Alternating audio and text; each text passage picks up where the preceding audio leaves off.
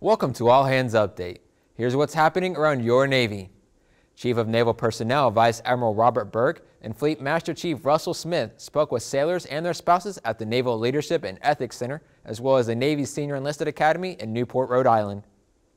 Burke and Smith met with several hundred leaders and discussed Sailor 2025, as well as other important personnel initiatives, including the Leadership Development Framework that was released last week by the Chief of Naval Operations Office. Burke said during his visit that discussing Sailor 2025 with individuals heading to leadership roles in the fleet is critical. The Navy released NAVADMIN 021-17 to establish four new ratings. Ratings include Yeoman Submarine, Logistics Specialist Submarine, Culinary Specialist Submarine, and Fire Controlman Aegis.